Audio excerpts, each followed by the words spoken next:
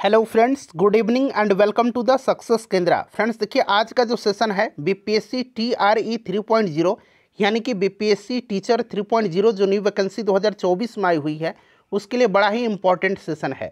आज इस सेशन में हम लोग बीपीएससी टीआरई 3.0 का जो एग्ज़ाम 15 मार्च 2024 को लिया गया था, जो पेपर रद्द कर दिया गया था, उसमें जितने भी मॉडर्न हिस्ट्री के प्रश्न पूछे गए हैं क्लास वन टू फाइव और क्लास सिक्स टू एट का पेपर लिया गया था पंद्रह मार्च 2024 को।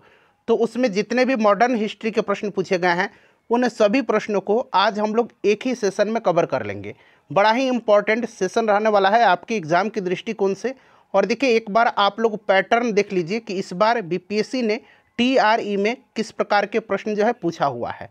और इसी प्रकार से अपने तैयारी को कंटिन्यू रखिएगा। बड़ा ही इंपॉर्टेंट सेशन है friends T R four point zero वाले भी इस सेशन को ध्यानपूर्वक देखिएगा.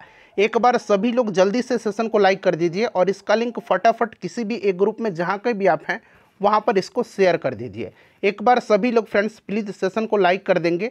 चलिए अब सेशन आज का हम लोग स्टार्ट करते हैं. तो फ्रेंड्स जैसे मैंने आपको बताया है कि आज इस सेशन में हम लोग B P S C T R E three point zero का जो एग्ज़ाम पंद्रह मार्च दो हज़ार चौबीस को लिया गया था जो एग्ज़ाम रद्द कर दिया गया। और देखिए, पंद्रह मार्च दो हज़ार चौबीस को क्लास वन टू फाइव और क्लास सिक्स टू एट का पेपर लिया गया था। और देखिए, क्लास वन टू फाइव और सिक्स टू एट में जितने भी मॉडर्न हिस्ट्री के प्रश्न पूछे गए हैं फ्रेंड्स, उनको इस सेशन में हम लोग डिस्कस करने वाले हैं। बड़ा ही इंपॉर्टेंट सेशन है आपके एग्ज़ाम के दृष्टिकोण से। देख लीजिए, बीपीएससी ने इस बार जो है टीआरई में किस प्रकार के प्रश्न पूछे हैं। और उसी पैटर्न पर अपनी तैयारी को भी कंटिन्यू रखिएगा। चलिए शुरू करते हैं सेशन एक बार सभी लोग प्लीज़ जल्दी से सेशन को लाइक कर दीजिए और इसका लिंक किसी भी एक ग्रुप में जहाँ कहीं भी आप हैं, वहाँ पर शेयर कर दीजिए। चलिए स्टार्ट करते हैं। पहला प्रश्न पढ़ेंगे। देखिए, किस वर्ष लॉर्ड लिटन ने भाषाई आधार पर प्रेस की स्वतंत्रता को प्रतिबंधित कर दिया? आंसर सबको कमेंट करना है। और देखिए, जो भी मैं एक्सप्लेन करूँगा, उसको भी ध्यानपूर्वक ज़रूर सुनिएगा। इससे क्या होगा? कि एक प्रश्न के साथ साथ आपके दो से तीन प्रश्न जो हैं कवर होते चलेंगे। अब यहाँ पर फ्रेंड्स ध्यान दीजिएगा, देखिए अठारह सौ अठहत्तर ईस्वी में, अठारह सौ अठहत्तर ईस्वी में लॉर्ड लिटन ने भारतीय समाचार पत्र अधिनियम, यानी कि वर्नाक्यूलर प्रेस एक्ट पारित करके भारतीय प्रेस के स्थानीय भारतीय भाषाओं में प्रकाशित समाचार पत्रों पर कठोर प्रतिबंध लगा दिया। और इस कानून में यह प्रावधान किया गया था कि अगर किसी अखबार में कोई आपत्तिजनक चीज़ छपती है तो सरकार उसकी प्रिंटिंग प्रेस सहित सारी संपत्ति जब्त कर सकती है। तो यहाँ पर देखिए अठारह सौ अठहत्तर राइट आंसर हो जाएगा। और देखिए फ्रेंड्स अठारह सौ बयासी में, अठारह सौ बयासी में लॉर्ड रिपन ने, किसने? लॉर्ड रिपन ने जो है वर्नाक्यूलर प्रेस एक्ट को समाप्त किया था। और देखिए भारतीय प्रेस का मुक्तिदाता किसको कहा जाता है? यह भी प्रश्न हो सकता है आपके एग्ज़ाम में बन जाए। भारतीय प्रेस का मुक्तिदाता कहा जाता है चार्ल्स मेटकॉफ को। चार्ल्स मेटकॉफ को भारतीय प्रेस का मुक्तिदाता कहा जाता है। तो फ्रेंड्स, ये सारे पॉइंट्स आप ध्यान रखेंगे। मैं प्रयास करूँगा कि सब कुछ डिटेल में आपको बताते चलूँ। और देखिए B P S C T R E three point zero के लिए अब रेगुलर क्लास चलेगा। चैनल से जुड़ जाइए और अपने फ्रेंड्स को भी बताइए। जो हमने पिछली बार तैयारी कराई हुई थी एन से और जो भी मैंने प्रीवियस ईयर का क्वेश्चन कराया हुआ था, वहाँ से काफ़ी सारे प्रश्न इस बार B P S C T R E three में पूछे गए थे। चलिए अगला प्रश्न करेंगे फ्रेंड्स। नेक्स्ट क्वेश्चन है हमारा। देखिए, जालियावाला बाग नरसंहार की जाँच हेतु गठित बॉर्डर इंक्वायरी कमेटी, यानी कि हंटर कमेटी में किस भारतीयों को स्थान मिला था? अच्छा देखिए, जालियावाला बाग नरसंहार जो है, यह किस दिन हुआ था? यह भी पूछा गया था। तो बैसाखी के दिन हुआ था। तेरह अप्रैल 1919 की यह घटना है। डेट सहित आपको याद रखना है, तेरह अप्रैल 1919 को। ठीक है ना? जालियावाला बाग हत्याकांड की जाँच के लिए सरकार ने लॉर्ड हंटर की अध्यक्षता में एक कमेटी का गठन किया था। किसकी अध्यक्षता में? लॉर्ड हंटर की अध्यक्षता में, जिसको कि हंटर कमेटी कहा जाता है और इस कमेटी में पाँच अंग्रेज़ और तीन भारतीय सदस्य थे। पाँच अंग्रेज़ थे और तीन भारतीय सदस्य थे। ध्यान रखिएगा, इन तीन भारतीय सदस्यों में सर चिमन लाल शीतलवाड़ साहबजादा सुल्तान अहमद खान और पंडित जगत नारायण थे। तो यहाँ पर देखिएगा, सुल्तान अहमद खान, सर चिमन लाल हरीलाल सीतरवाड़ और पंडित जगत नारायण, ये तीनों थे। इसीलिए ऑप्शन डी राइट आंसर हो जाएगा, एक से अधिक। अच्छा फिर कांग्रेस ने जो है जालियाला बाग हत्याकांड की जाँच के लिए मदन मोहन मालवीय के नेतृत्व में एक आयोग नियुक्त किया था और इसके अन्य सदस्यों में मोतीलाल नेहरू और महात्मा गांधी जी भी थे। तो ये भी पॉइंट इंपॉर्टेंट है आपके एग्ज़ाम के दृष्टिकोण से। कांग्रेस ने जालियावाला बाग हत्याकांड की जाँच के लिए मदन मोहन मालवीय के नेतृत्व में एक आयोग नियुक्त किया था और इसके अन्य सदस्यों में मोतीलाल नेहरू और महात्मा गांधी जी भी थे। ठीक है ना? चलिए फ्रेंड्स, एक बार सभी लोग प्लीज़ सेशन को लाइक कर दीजिए। देखिए, नेक्स्ट क्वेश्चन है कि प्रसिद्ध क्रांतिकारी नेता चंद्रशेखर आज़ाद के अनुरोध पर किसने द फिलोसफी ऑफ़ बॉम्ब, यानी कि बॉम्ब का दर्शन नामक पुस्तक लिखी है? ये प्रश्न ऑलरेडी मैंने आपको कराया हुआ था, द फिलोसफी ऑफ़ बॉम्ब के लेखक कौन है? तो फ्रेंड्स, इसको लिखा है किसने? भगवती चरण वोहरा ने लिखा था। ऑप्शन नंबर यहाँ पर सी, जिन्होंने भी दिया है, उनका बिल्कुल करेक्ट आंसर है। चलिए, नेक्स्ट क्वेश्चन है हमारा, और एन से कल मैं क्लासेज स्टार्ट कर रहा हूँ, history geography polity, science, class six to twelve के लिए। ठीक है ना? चलिए, देखिए, अगला प्रश्न है कि कामागाटा मारू क्या था? यहाँ पर क्या बना लीजिएगा? ये टाइपिंग एरर है। कामागाटा मारू क्या था?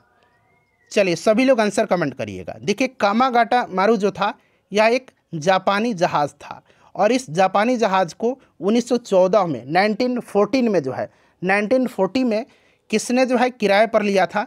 तो याद रखेंगे, बाबा गुरुदत्त सिंह ने, बाबा गुरुदत्त सिंह ने जो है इसको किराए पर लिया था। क्लियर ना? और जब यह जहाज़ जो है, बजबज नामक बंदरगाह, जो कि आपका पश्चिम बंगाल में पड़ेगा, वहाँ पर जब पहुँचा था बजबज पर, तब उसकी तलाशी ली गई थी। और वहाँ पर जो है थोड़ा बहुत संघर्ष भी हुआ था और इसमें 18 यात्री लगभग मारे गए थे और लगभग 25 यात्री घायल भी हुए थे। तो याद रखिएगा, कामागाटा मारू क्या था? तो यह एक जहाज़ था, ठीक है? और किराए पर किसने लिया था? तो बाबा गुरुदत्त सिंह ने लिया था। ये भी प्रश्न बन सकता है। चलिए फ्रेंड्स, अगला प्रश्न करेंगे अब हम लोग कि जालियावाला बाग निरसंस हत्याकांड किस दिन हुआ था? दिन देखिए पूछा गया है। डेट अगर आपसे पूछा जाए तो तेरह अप्रैल 1919 की यह घटना है, जैसे कि मैंने आपको अभी बताया है। और यहाँ पर दिन पूछा गया है तो दिन कौन सा है? तो वैसाखी के दिन यह हुआ था। किस दिन हुआ था? वैसाखी के दिन हुआ था। ठीक है? चलिए, उसके बाद नेक्स्ट क्वेश्चन है कि आत्मसम्मान आंदोलन के पुरोधा कौन थे? आत्मसम्मान आंदोलन के पुरोधा कौन थे? चलिए, सभी लोग आंसर कमेंट करिएगा कि आत्मसम्मान आंदोलन के पुरोधा कौन थे? आत्मसम्मान आंदोलन एक गतिशील सामाजिक आंदोलन था। जिसका उद्देश्य समकालीन हिंदू सामाजिक व्यवस्था को जाति, धर्म और ईश्वरीय आस्था के बिना एक नए समग्र एवं तर्क संगत समाज में परिवर्तित करना था। ई बी रामास्वामी नाइकर के द्वारा वर्ष 1925 में, ई वी रामास्वामी नाइकर के द्वारा 1925 में आत्मसम्मान आंदोलन की शुरुआत तमिलनाडु में की गई थी। यह एक समतावादी आंदोलन था, जिसने ब्राह्मणवादी आधिपत्य को तोड़ने का कार्य किया था।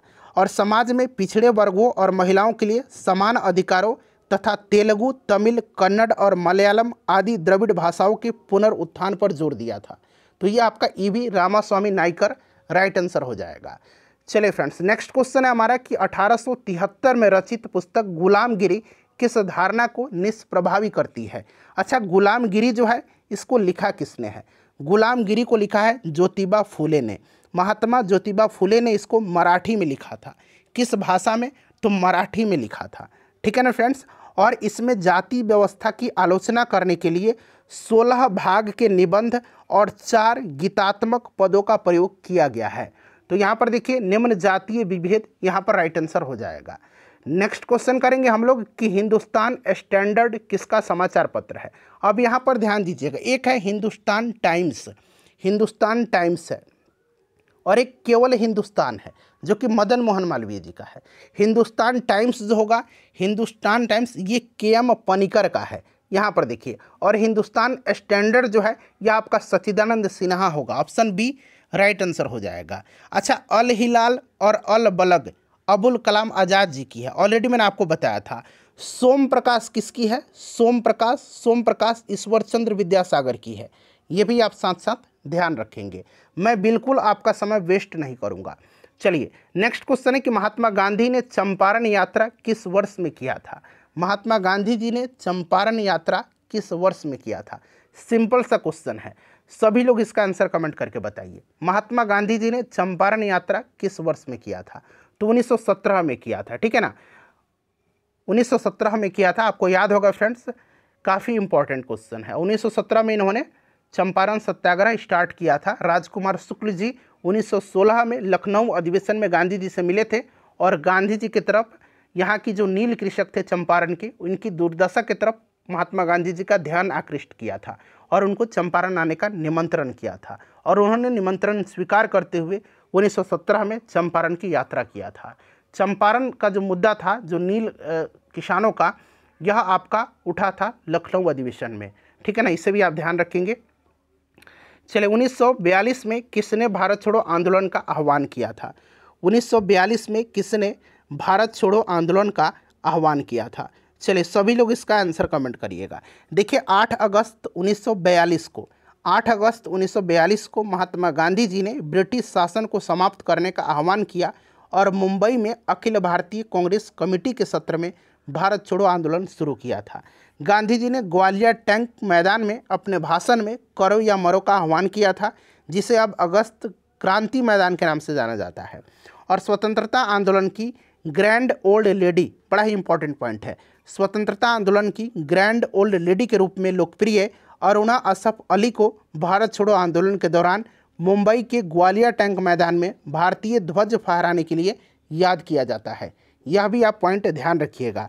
भारत छोड़ो आंदोलन का नारा एक समाजवादी और ट्रेड यूनियनवादी यूसुफ मेहर अली के द्वारा गढ़ा गया था। यह नारा जो था भारत छोड़ो का, यह यूसुफ मेहर अली के द्वारा गढ़ा गया था। ठीक है ना?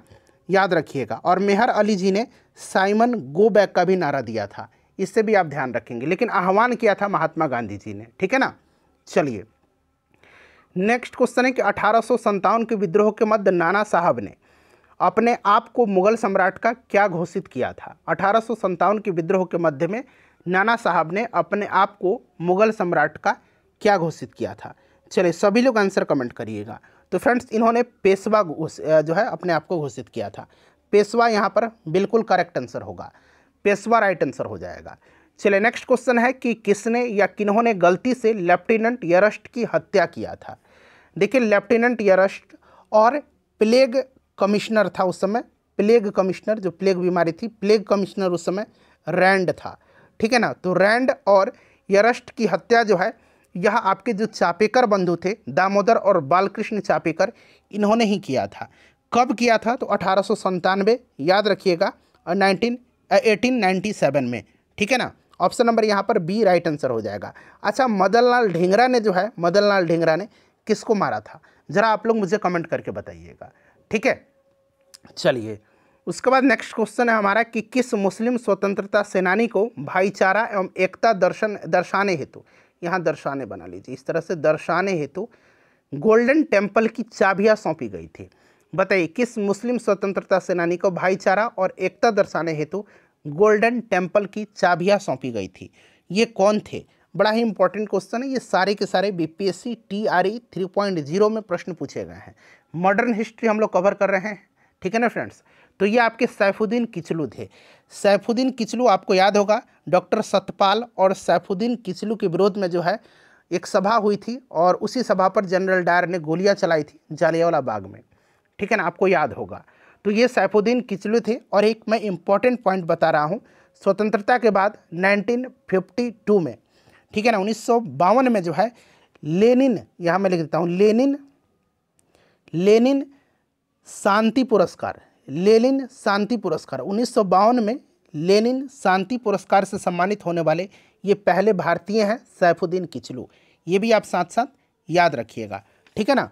चलिए अब अगला प्रश्न करेंगे। नेक्स्ट क्वेश्चन है हमारा कि 21 अक्टूबर 1943 को किस स्थान पर सुभाष चंद्र बोस ने स्वतंत्र भारत की अंतरिम सरकार का गठन किया था? बताइए, सभी लोग आंसर कमेंट करिएगा। 21 अक्टूबर 1943 को किस स्थान पर सुभाष चंद्र बोस जी ने स्वतंत्र भारत की अंतरिम सरकार का गठन किया था। तो इन्होंने किया था सिंगापुर में। कहाँ पर? सिंगापुर में किया था। अगला प्रश्न करेंगे। नेक्स्ट क्वेश्चन है कि इनमें से कौन वंदे मातरम समाचार पत्र के संपादक थे? वंदे मातरम समाचार पत्र के संपादक। ध्यान से सुनिएगा। वंदे मातरम समाचार पत्र के संपादक। अच्छा वंदे मातरम जो गाना है, यह आनंद मठ से लिया गया बंकिम चंद्र चटर्जी की। लेकिन यहाँ पर वंदे मातरम समाचार पत्र पूछा गया। इसके संपादक कौन थे? तो अरविंद घोष थे। अरविंद घोष यहाँ पर राइट आंसर हो जाएगा। ठीक है ना? चलिए ऑल इंडिया हरिजन संघ की स्थापना 1932 में किसके द्वारा किया गया था? एक प्रश्न तो वैसे भी आपका बन जाएगा कि ऑल इंडिया हरिजन संघ की स्थापना कब किया गया था? तो याद रखिएगा 1932 में। किसने किया था? तो ये महात्मा गांधी जी ने किया था। किसने किया था? महात्मा गांधी जी ने किया था। बड़ा ही इंपॉर्टेंट क्वेश्चन है। ठीक है ना? याद रखिएगा किसने किया था? तो महात्मा गांधी जी ने किया था। बहुत ही इंपॉर्टेंट क्वेश्चन है फ्रेंड्स ये बार बार एग्ज़ाम में पूछा जाता। और भीमराव अंबेडकर जी ने स्वतंत्र श्रमिक पार्टी की स्थापना किया था। भीमराव अंबेडकर जी ने स्वतंत्र श्रमिक पार्टी की स्थापना किया था और बहिष्कृत हितकारिणी सभा की स्थापना किया था भीमराव अंबेडकर जी ने। इसे भी आप ध्यान रखिएगा। ठीक है ना? चलिए। नेक्स्ट क्वेश्चन है कि कौन सी घटना सबसे पहले हुई थी? कौन सी घटना इसमें से सबसे पहले हुई थी? बताइए राइट आंसर इसका क्या होगा? चलिए देखिए, भारत छोड़ो, आंदोलन का प्रस्ताव जो है, ये अगस्त 1942 की घटना है। ठीक है, ध्यान से सुनिएगा। गवर्नर जनरल के पद पर लॉर्ड बेबल का आगमन। तो लॉर्ड बेबल का कार्यकाल आपको याद होगा 1944 से लेकर के उन्नीस सौ सैंतालीस तक रहा था। और ये घटना अगस्त 1942 की है। ठीक है, और स्क्रिप्स मिशन का आगमन कब हुआ था? तो ये घटना जो है, ये मार्च मार्च 1942 की है। ठीक है? तो पहले कौन सी हो गई? मार्च वाली घटना। चूँकि ये अगस्त 1942 है तो क्रिप्स मिशन का आगमन राइट आंसर हो जाएगा। क्रिप्स मिशन यहाँ पर करेक्ट आंसर हो जाएगा। ठीक है? क्रिप्स मिशन जब भारत आया था, उस समय वायसराय कौन था? ये भी प्रश्न बन सकता है। तो क्रिप्स मिशन के आगमन के समय वायसराय लॉर्ड लेनलिथ गो था। कौन था फ्रेंड्स? लॉर्ड लेनलिथ गो था। इसे भी आप याद रखेंगे। कौन था? लॉर्ड लेनलिथ गो था। ठीक है? 1942 में क्रिप्स मिशन भारत आया था। चलिए नेक्स्ट क्वेश्चन है हमारा कि इनमें से किसने यह कहते हुए भारतीय राष्ट्रीय कांग्रेस की हँसी उड़ाई की यह एक बहुत सूक्ष्म भाग, यानी कि माइनॉरिटी अल्पसंख्यक का प्रतिनिधित्व करता है। ये प्रश्न डायरेक्टली पूछा गया था। चलिए देखिएगा, किसने यह कहते हुए हँसी उड़ाई थी कि कांग्रेस एक बहुत सूक्ष्म भाग, यानी कि अल्पसंख्यक, अंग्रेज़ी में इसको माइनॉरिटी बोलेंगे, का प्रतिनिधित्व करता है। तो ये स्टेटमेंट लॉर्ड डफरिन का था। किसका था? लॉर्ड डफरिन का था। इसी के समय जो है अठारह सौ पचासी में भारतीय राष्ट्रीय कांग्रेस की स्थापना भी हुई थी। क्लियर ना? अच्छा एक स्टेटमेंट कर्जन का है, जो बीपीएससी टीआरई में पूछा जा चुका है। ये स्टेटमेंट क्या है कि कांग्रेस अपनी पतन की ओर लड़खड़ा रही है और भारत में रहते हुए मेरी सबसे बड़ी इच्छा, यानी कि महत्वाकांक्षाओं में से एक, इसमें इसकी शांतिपूर्ण समाप्ति में मैं सहायक बनूं। ये कर्जन का स्टेटमेंट है। ठीक है ना? याद रखिएगा। चलिए, अगला प्रश्न हमारा कि मुजफ्फरपुर बम कांड में किसको फांसी की सज़ा दी गई थी। अच्छा देखिए, मुजफ्फरपुर बम कांड की बात करते हैं तो मुजफ्फरपुर बम कांड के बारे में ध्यान से सुनिएगा। प्रफुल्ल चाकी और खुदीराम बोस थे इसमें सम्मिलित, और देखिए 30 अप्रैल 1908 को 30 अप्रैल 1908 को मुजफ्फरपुर के जज किंग्सफोर्ड की हत्या का प्रयत्न इन्होंने किया था। किसने? प्रफुल्ल चाकी और खुदीराम बोस ने। गलती से बम जाकर के कैनेडी की गाड़ी पर गिरी थी, और जिसमें दो महिलाओं की मृत्यु हुई थी। प्रफुल्ल चाकी ने जो है आत्महत्या कर लिया था और खुदीराम बोस को जो है फांसी की सज़ा दी गई थी 11 अगस्त 1908 को। 11 अगस्त 11 अगस्त 1908 को खुदीराम बोस को फांसी की सज़ा दिया गया था और प्रफुल्ल चाकी ने जो है आत्महत्या कर लिया था इन्होंने। इन्होंने आत्महत्या कर लिया था। ठीक है? तो यहाँ पर पूछा गया है कि फांसी किसको दी गई थी? तो खुदीराम बोस को। ठीक है? चलिए फ्रेंड्स, उसके बाद देखिएगा कि किस वर्ष बाबू कुंवर सिंह का देहांत हुआ था। बड़ा ही इंपॉर्टेंट क्वेश्चन है। बाबू कुंवर सिंह का जन्म अगर पूछा जाए तो सत्रह सौ सतहत्तर, याद रखिएगा फ्रेंड्स और इनकी मृत्यु जो हुई थी, इनका देहांत जो हुआ था, ये कब हुआ था? तो अठारह में। ठीक है, बिहार में इन्होंने जो है अठारह की क्रांति का नेतृत्व किया था। जगदीशपुर के थे। याद रखिएगा फ्रेंड्स मैं जहाँ भी रहूँ, जगदीशपुर वहीं है। ये स्टेटमेंट इन्हीं का है। ठीक है? चलिए, अगला प्रश्न कि युवा बंगाल आंदोलन की स्थापना का श्रेय किसे है?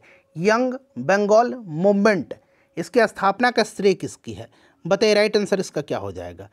तो फ्रेंड्स यह हैंनरी विवियन डेरेजियो की है। ऑप्शन नंबर यहाँ पर ए राइट आंसर हो जाएगा। युवा बंगाल आंदोलन की स्थापना हैंनरी विवियन डेरेजियो ने किया था। क्लियर ना? याद रखिए, किसने किया था?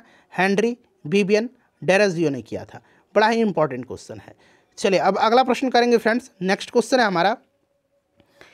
कि देखिए, किस तिथि को क्लेमेंट एटली ने घोषणा की कि जून 1948 तक ब्रिटिश भारत को छोड़ देंगे। बताइए राइट आंसर इसका क्या हो जाएगा? ब्रिटेन के प्रधानमंत्री क्लेमेंट एटली थे स्वतंत्रता के समय। ये प्रश्न पूछा जाता है। और क्लेमेंट एटली ने जो है, हाउस ऑफ़ कॉमन्स में 20 फरवरी उन्नीस सौ सैंतालीस को घोषणा किया था। 20 फरवरी उन्नीस सौ सैंतालीस को घोषणा किया था कि ब्रिटिश जो है 30 जून 1948 के बाद सत्ता की ज़िम्मेदारी जो भारतीय लोग हैं उन पर सौंप देंगे। ठीक है फ्रेंड्स, याद रखिएगा, बड़ा ही इंपॉर्टेंट क्वेश्चन है। और देखिए, भारतीय स्वतंत्रता विधेयक 4 जुलाई उन्नीस सौ सैंतालीस को संसद में पेश किया गया था। पेश कब किया गया था? भारतीय स्वतंत्रता विधेयक को 4 जुलाई उन्नीस सौ सैंतालीस को। ये भी प्रश्न बनेगा 4 जुलाई उन्नीस सौ सैंतालीस को। ठीक है, और 18 जुलाई उन्नीस सौ सैंतालीस को। और 18 जुलाई उन्नीस सौ सैंतालीस को इसको अधिनियमित किया गया था। ठीक है, और 15 अगस्त उन्नीस को भारतीय स्वतंत्रता अधिनियम लागू हुआ था। तो इतने सारे पॉइंट्स मैं आपको बता रहा हूँ। चलिए, अगला प्रश्न हमारा कि किस वर्ष बिहार को बंगाल से अलग किया गया था? बिहार जो है, बंगाल से अलग कब हुआ था? और बिहार में उड़ीसा भी सम्मिलित था, आपको याद है? देखिए, बंगाल का विभाजन 1905 में हुआ था। बंगाल जो से अलग बिहार जो हुआ था, कब हुआ था? बिहार को बंगाल से अलग 1912 में किया गया था। ऑप्शन में नहीं है, उपरिक्त में से कोई नहीं राइट आंसर हो जाएगा। क्योंकि बिहार में उड़ीसा सम्मिलित था और बिहार और उड़ीसा अलग हुए थे 1936 में। और फिर बिहार से झारखंड कब अलग हुआ था? तो 15 नवंबर सन 2000 को। ये सब पॉइंट आप याद रखिएगा। चलिए फ्रेंड्स अगला प्रश्न है हमारा कि अठारह सौ के मध्य कोल विद्रोह का नेतृत्व किसने किया था? कोल विद्रोह का नेतृत्व किसने किया था? चलिए बताइए राइट आंसर क्या हो जाएगा? अठारह सौ याद रखिएगा। और इसके नेता बुधु भगत, जुआ भगत, झिंदराय मानकी, मादरा महत यानी मादरा महतो भी कह सकते हैं, ये सब थे। बुध भगत, जुआ भगत जिंदराय मानिकी, मादरा महतो, ये सब थे। ठीक है ना? तो यहाँ पर इनमें से कोई नहीं राइट आंसर होगा। यहाँ पर देखिए सीधू कानू जो थे, ये संथाल विद्रोह के नेता थे। संथाल विद्रोह अठारह सौ में हुआ था, ये भी आपको याद भी होगा। ठीक है ना? चलिए फ्रेंड्स अगला प्रश्न करेंगे हम लोग कि निम्नलिखित में से भारत छोड़ो आंदोलन 1942 का मुख्य कारण क्या था? बताइए, सभी लोग आंसर कमेंट करिएगा। भारत छोड़ो, आंदोलन का मुख्य कारण क्या था? देखिए, एक तो आपका क्रिप्स मिशन की विफलता थी, ठीक है ना? भारत छोड़ो, आंदोलन का कारण, ठीक है? उसके बाद क्या था? उसके बाद जो दूसरा विश्व युद्ध का हानिकारक प्रभाव पड़ा था, दूसरा विश्व युद्ध छिड़ने पर भारत पर काफ़ी प्रभाव पड़ा था। संसाधनों को युद्ध प्रयासों में लगा दिया गया और भारतीय अर्थव्यवस्था पर इसका प्रतिकूल प्रभाव पड़ा था। तो ये आपका दोनों कारण थे, कारण दोनों थे इसके। क्रिप्स मिशन की असफलता भी था और दूसरे विश्व युद्ध के जो हानिकारक प्रभाव थे, प्रतिकूल प्रभाव थे, ये भी था। तो मेरे हिसाब से तो इसका ऑप्शन डी राइट आंसर हो जाएगा, उपरिक्त में से एक से अधिक। ठीक है ना फ्रेंड्स चलिए, उसके बाद नेक्स्ट क्वेश्चन कर लेंगे हम लोग कि किसने भारत में आधुनिक छपाई तकनीक प्रारंभ किया था? चलिए, किसने भारत में आधुनिक छपाई तकनीक प्रारंभ किया था? तो फ्रेंड्स ये किसने किया था? पुर्तगालियों ने किया था। पुर्तगालियों ने किया था। तो फ्रेंड्स, जितने भी मॉडर्न हिस्ट्री के प्रश्न बीपीएससी टीआरई 3.0 के एग्ज़ाम में पूछे गए थे, उनको मैंने कवर करा दिया। प्लीज़ सेशन को लाइक करिए और इसको शेयर करिए डेली क्लासेज अब चलेंगे आपके लिए। चैनल से जुड़ जाइएगा।